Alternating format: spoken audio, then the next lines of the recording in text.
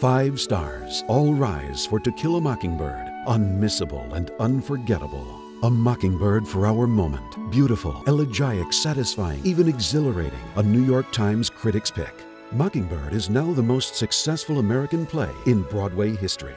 All rise for Aaron Sorkin's great play.